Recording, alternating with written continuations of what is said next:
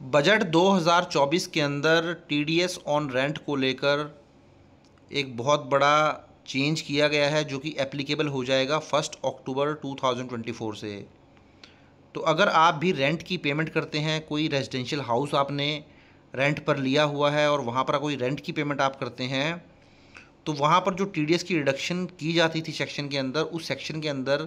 इस रेट को लेकर जो है वो बदलाव किया गया है। तो चलिए अपनी वीडियो की तरफ़ बढ़ते हैं, उस सेक्शन को रीड करते हैं और ये क्या चेंज किया गया है, क्या रेट जो है अब नया इंट्रोड्यूस किया गया है, वो एक बार हम देख लेते हैं।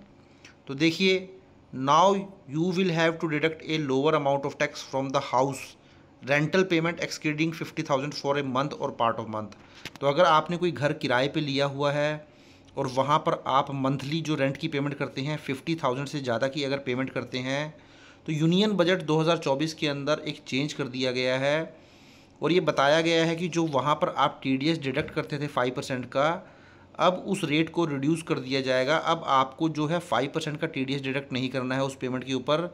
अब केवल आपको टू परसेंट की ही डिडक्शन करनी पड़ेगी टीडीएस की।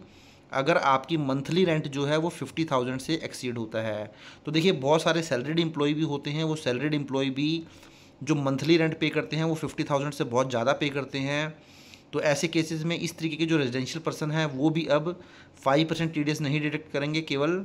टू परसेंट की डिडक्शन ही करेंगे उस रेंट पेमेंट के ऊपर। तो देखिए सेक्शन क्या है दोस्तों? As per provision of section 194 IB तो सेक्शन 194 आईबी के अंदर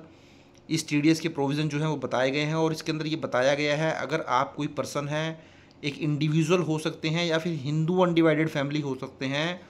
जिनके ऊपर की टैक्स ऑडिट एप्लीकेबल ना होता हो। तो अगर आपके ऊपर टैक्स ऑडिट एप्लीकेबल नहीं होता होगा, आप एक इंडिविजुअल हैं, हिंदू अनडिवाइडेड फैमिली हैं तो आप सेक्शन 194 आईबी के अंदर कवर हो जाएँगे, जहाँ ये बताया गया है,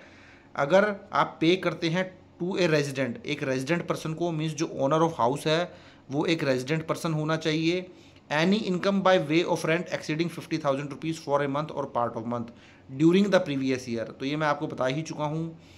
मंथली रेंट अगर आपका फिफ्टी थाउज़ेंड से ज़्यादा है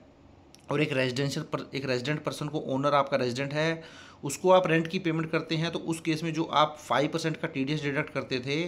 अब उस टी डी एस को आप टू परसेंट ही डिडक्ट करेंगे और ये जो अमेंडमेंट है, ये इफ़ेक्टिव हो जाएगी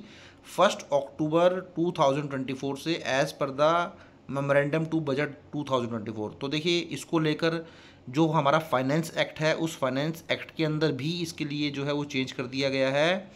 तो अब ये एक अक्टूबर से आपको जो टीडीएस की रिडक्शन करनी है, वो टू परसेंट की करनी है। अगर आप